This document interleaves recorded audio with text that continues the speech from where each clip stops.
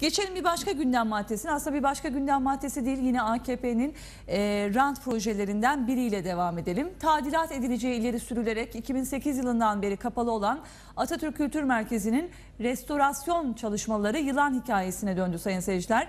Kültür ve Turizm Bakanlığı projeyi yürüten firmaya gönderdiği talimatla restorasyon çalışmalarını ikinci bir emre kadar durdurdu. Cumhuriyet'in simgelerinden biri olan Taksim'deki Atatürk Kültür Merkezi'ndeki restorasyon çalışmaları durduruldu.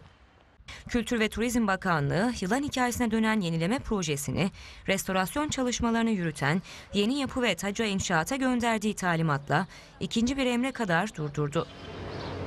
AKP hükümeti ekonomik ömrünü tamamlamış olduğu gerekçesiyle 2005'te Atatürk Kültür Merkezi'ni yıkmak istemişti. Ancak iki yıl sonra İstanbul İkinoğlu Koruma Kurulu Atatürk Kültür Merkezi'ni birinci grup kültür varlığı olarak tescil etmiş, böylece yıkım gerçekleşmemişti. Ancak AKM'nin kaderi koruma kurulu kararına rağmen değişmedi. Bu kez de AKM'nin yenilenmesine karar verildi.